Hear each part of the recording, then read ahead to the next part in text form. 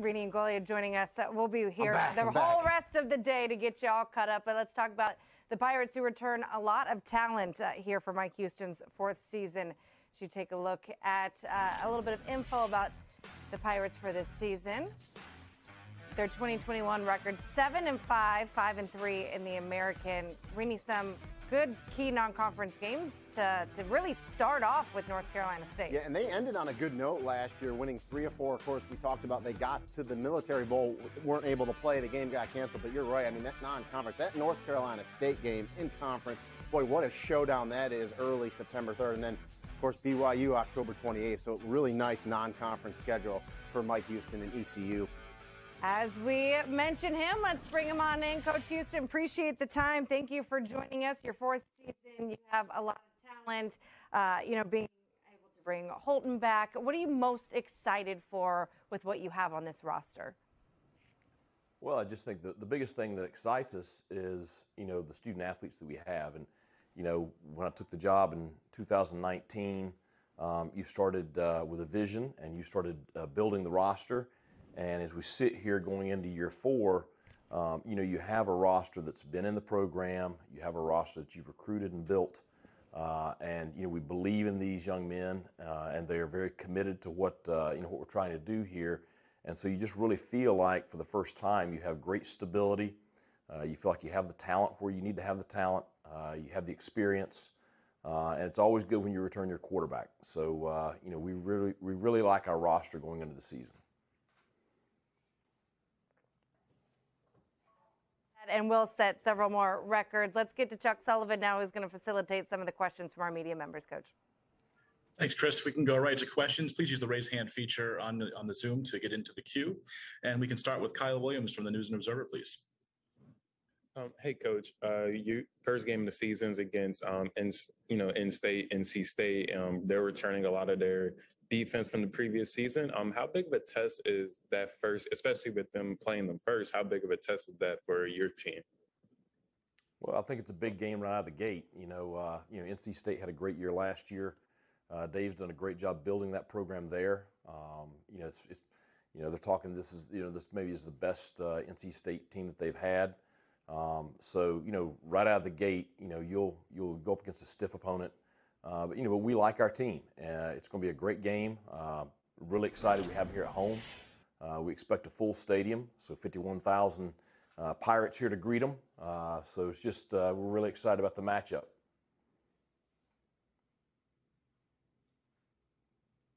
Okay, we'll go next to Brian Bailey, please, WNCT in Greenville.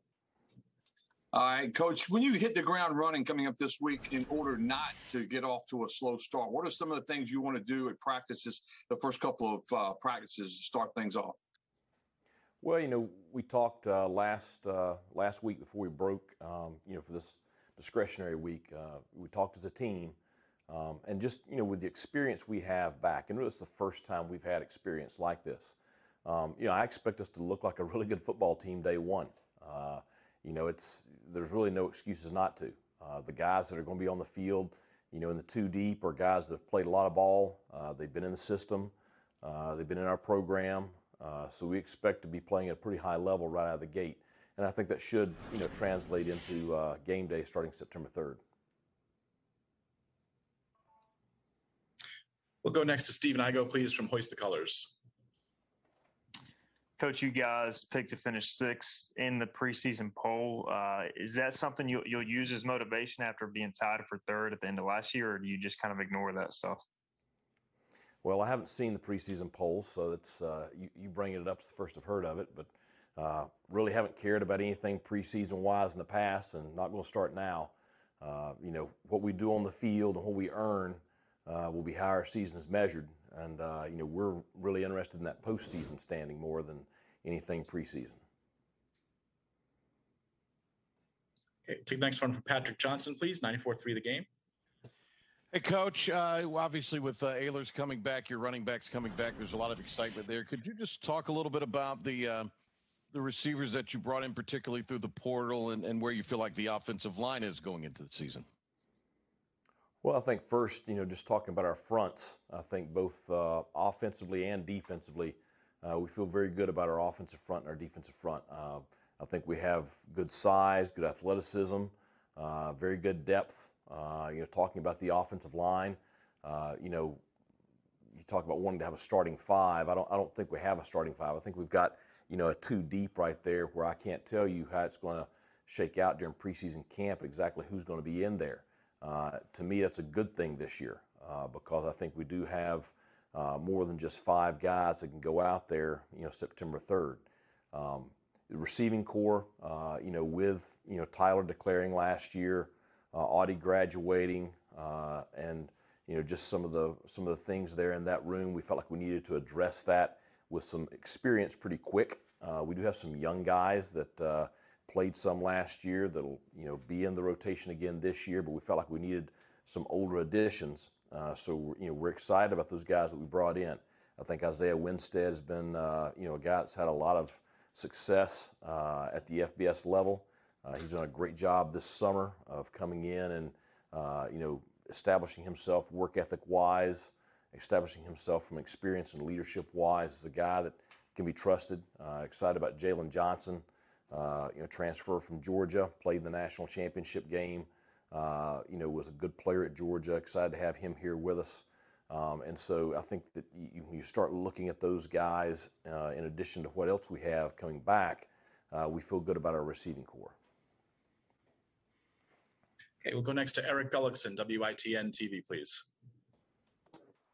Hey, Coach. Um, you mentioned it a little bit about a bunch of the new additions, and you talked in the spring about a lot of young guys coming in. I know you guys have been doing workouts and summer, you know, conditioning stuff. How have they kind of fit into the group as you guys are getting ready to kick off fall camp? Well, I think, you know, especially this year, um, with the experience we have coming back, you know, it, it's going to be hard for a freshman to to get on the field. Um, you know, when we, when we, looked at look at our look at our team in 2020, you know, you started a ton of freshmen.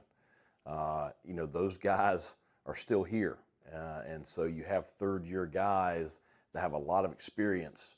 Uh, to where I think, you know, in order for a freshman to get on the field and play this year, um, he'll have to be a pretty special player. Uh, I think we've got a couple that may, um, but certainly we don't feel the need to have to push anybody out there, you know, this year. We'll go next to Dan Tortora. Wake up call DT, please. Good morning, Coach. Uh, just you know, looking at the fact that this conference has obviously been affected by realignment multiple times and will be affected after this season with three going out and six coming in. How do you look at college football kind of as a whole and, and your thoughts on having to obviously coach against the teams that you know and then having to learn these teams that are going to be coming in next year? Well, you know, I, I think that uh, everybody is um, curious to see how the next couple of years are going to go. Uh, you know, college football is changing, and it's changing pretty quick. I think with you know what the SEC and the Big Ten are doing, uh, it's going to have a trickle down effect on all the other conferences. Um, you know, the American Conference has been a highly competitive conference, uh, you know, ever since its uh, start, and uh, we're excited to be a part of it. Uh, you know, Cincinnati, UCF, and Houston have been great programs in this conference. you know, them departing uh, you know, they'll they'll go on and try to you know do the same thing in in the Big 12, uh, but we'll have six schools coming in, so the conference is going to change. Um, at the end of the day, you know, our focus is going to be purely on East Carolina. Um, I think we have a chance, just like I thought when I came here uh, in 2019. We have a chance to establish ourselves as one of the top programs in the country. Uh, I think we've got a great fan base. Uh, we've got a great school to recruit to.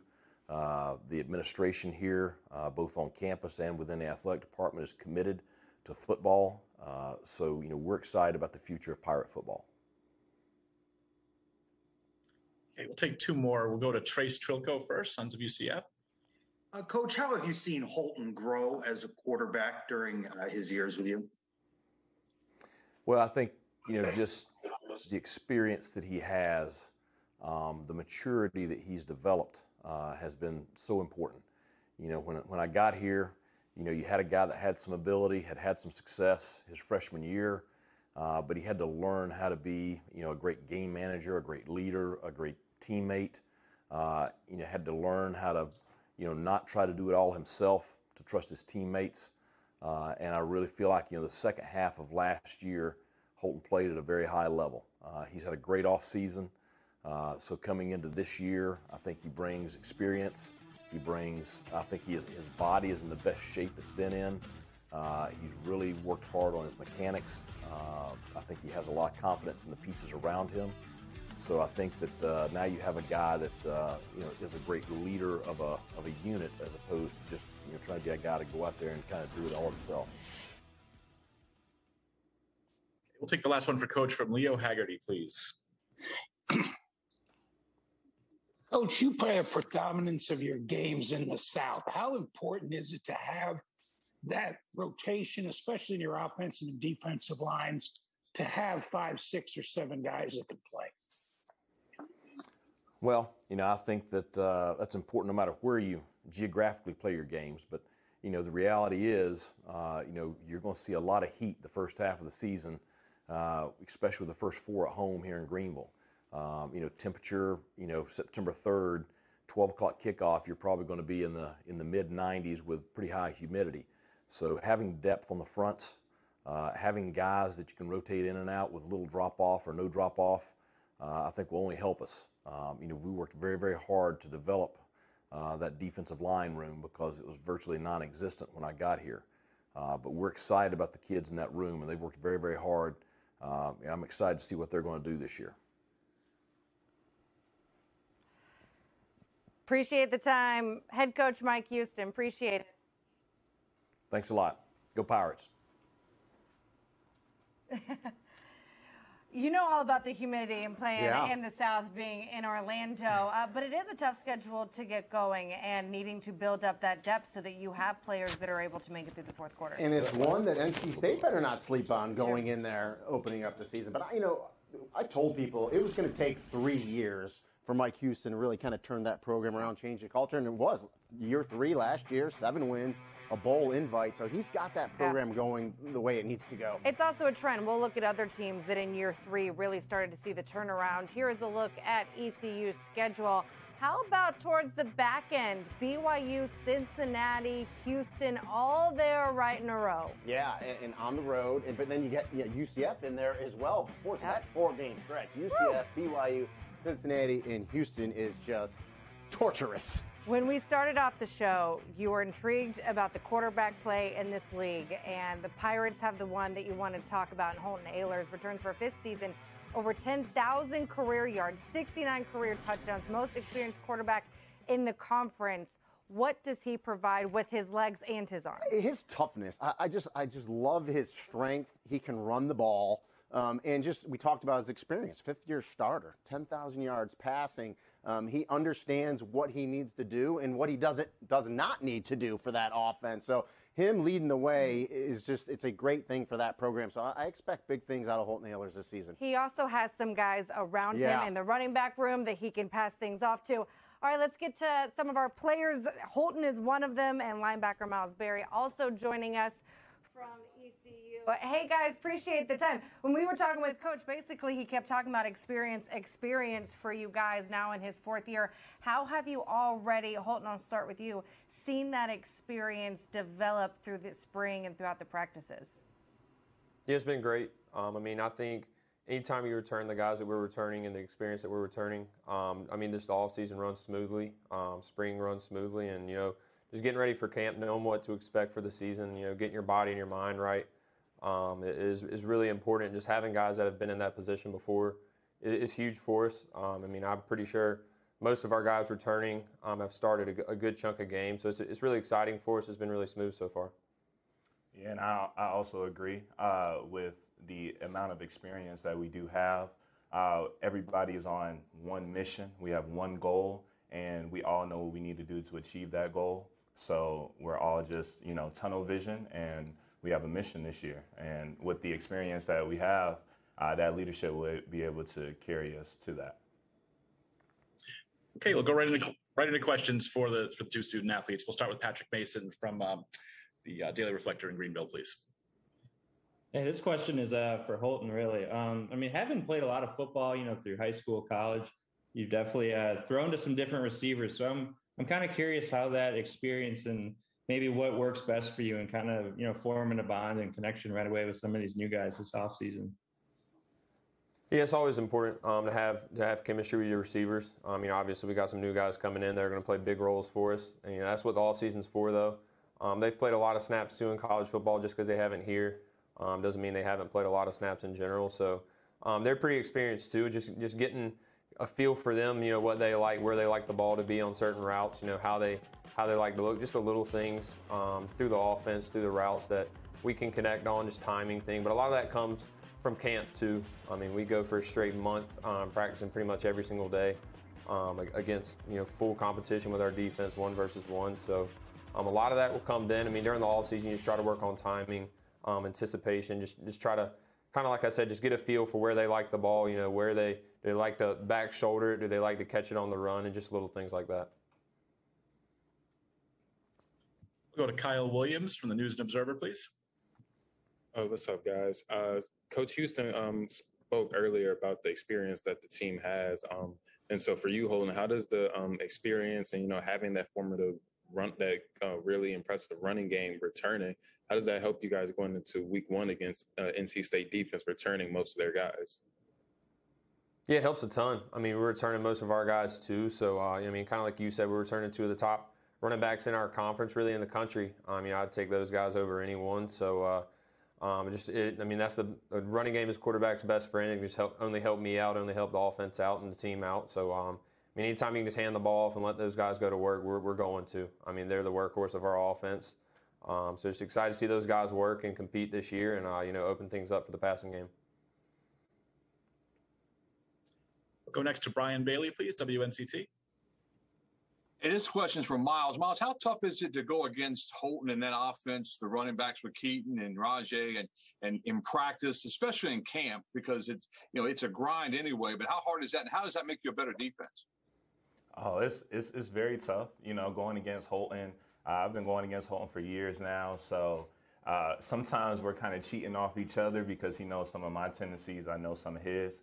Uh, same with Keaton and Rahjai. Uh, Keaton is a shiftier back, so me as a linebacker, I have to be at a certain level of discipline and I have to really focus on my technique when tackling him. Rahjai is a physical, shifty downhill runner also, so I make sure I have to, you know, bring my stuff when I'm tackling him. Uh, but it's iron sharpening iron, and and with that, with that competition every day, that's going to lead us into having a great season uh, this year because we're we have to work every day and we're constantly making each other better. We'll take the next one from Eric Gullickson, WITN TV, please. Hey guys, you know fall camp starting next week. You know, how do you guys keep your focus on just the overall development with that NC State game looming and a lot of hype already building around that game? How do you guys plan to kind of attack fall camp, I guess? Well, we're we're not really paying attention to the hype because the hype it can be negative if you pay attention to it too much. So, like you said, camp starts next week, and that's our primary focus is having a great camp. And then once we get through camp, then our all our attention will be on NC State. Yeah, I kind of top with that. Um, you know, I mean, potential's nothing unless you turn it into production. Um, and we have experience coming back to know that, to know how to get through a fall camp, how to get better, um, and get prepared for the season. And we, we've been in those close games and games that we should have won and some games that we have won. So um, just all that experience coming back definitely helps us, you know, getting through camp and, uh, and preparing ourselves for the first game and the games after that. Okay, the next one will go to Patrick Johnson, 94.3 the game, please. All right, uh, for Myles, with Blake Harrell coming back uh, for a third year, just just defensively, how how much more multiple and versatile do you feel the defense is? And then after miles of time, I'd like to just ask Holton a, a different question. Okay. Um, yeah. So with with Coach Harrell coming back, this is the third year in the defense now, and with that, the guys on all the guys on the defense have just a certain level of confidence that we really never had before. Um, and now it's not just knowing your position and knowing the roles and responsibilities of your position, but now we're learning everybody's position. So we're all working on the same uh, same platform. We're all working as like a fine tuned machine, and I feel like that will definitely carry over into this season. You saw it uh, the second half of last season. Defense was rolling strong, and we're gonna we're gonna carry that that momentum into this year to camp. Holton, I, know you uh, maybe unfortunately or unfairly sometimes have to burden a lot of uh, responsibility uh, being the hometown uh, player. But as you go into this season, could you just elaborate on your expectations and, and, and really enjoying a final season in a Pirate uniform? Yeah, I mean, I knew when I committed here when I was 17 years old that there was going to be a lot of pressure here, but um, you know, I wanted it to be on me and no one else. Um, you know, Coach Houston came in and has developed a great culture here, a great team culture to um, to really counter that, um, and it's been it's been really good to be a part of it. Um, and, and, you know, I think this year, I mean, he said it too, and our players have too. It's the best team overall that we've had. Um, we've been in the games, we've been close there, and I mean, I think that this year we just go out there and, and play the way that that we know we can play, and the rest will take care of itself. But um, for it being my last year, you know, I am. I mean, I am going to enjoy it as much as I can, and uh, I mean, just really appreciate. You know, every there's going to be a lot of laughs for me this year. As as for Myles, really, it's his last year too. So um, just enjoying it. It's taking it one game at a time, one practice at a time. I mean, it starts with camp and just getting the team as as close as we can be to being ready um, for that first game, and then going out there and playing good uh, the whole season. Holton Myles, we appreciate the time. Good luck this season as you kick things off September 3rd against North Carolina State. Appreciate it. Thanks Thank you, guys. Us. Go Pirates. Go Pirates.